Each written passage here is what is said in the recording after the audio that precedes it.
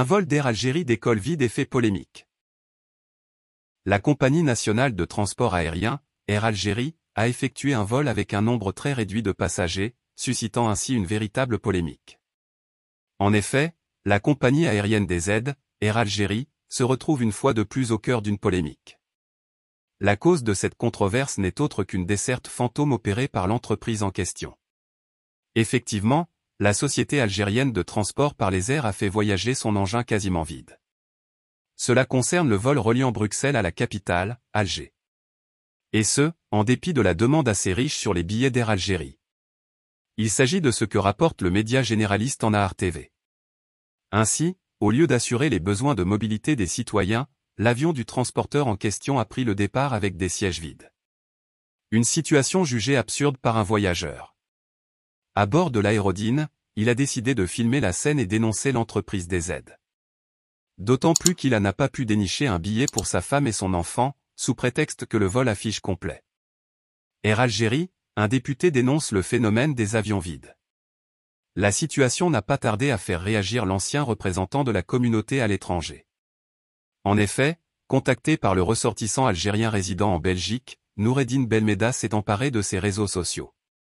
Cela afin de relayer ces révélations scandaleuses.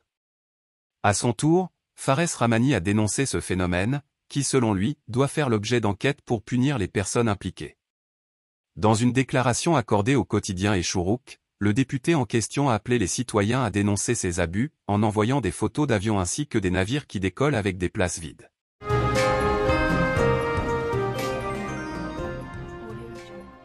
Étrangers en situation irrégulière en France, les nouvelles instructions de Gérald Darmanin. Le ministre de l'Intérieur français Gérald Darmanin a donné de nouvelles instructions concernant le dossier de l'immigration clandestine.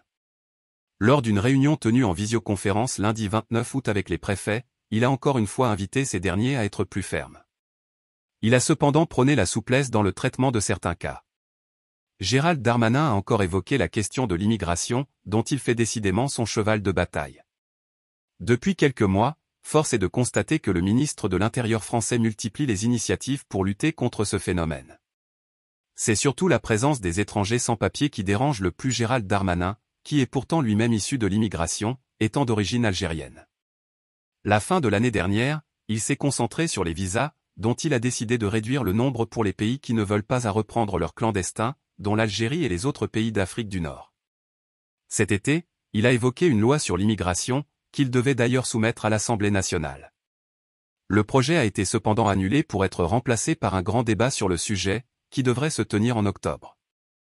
En attendant, Gérald Darmanin a donné de nouvelles instructions au préfet pour la gestion de ce dossier qui lui tient tant à cœur les instructions de Darmanin concernant l'expulsion des étrangers de France.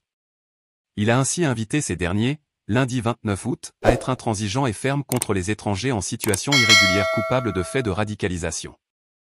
Expulser les étrangers en situation irrégulière radicalisés ou auteurs de violences conjugales, a indiqué en effet le ministre au préfet lors d'une réunion tenue en visioconférence.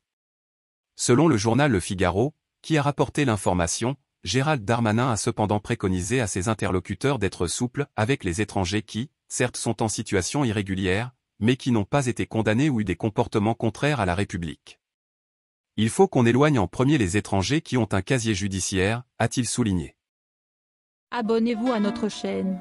Cliquez sur la cloche pour rester au courant de l'actualité algérienne.